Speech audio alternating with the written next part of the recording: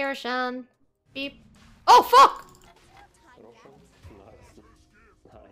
It's almost dead. Guys, Roshan. yeah. I'm not joking.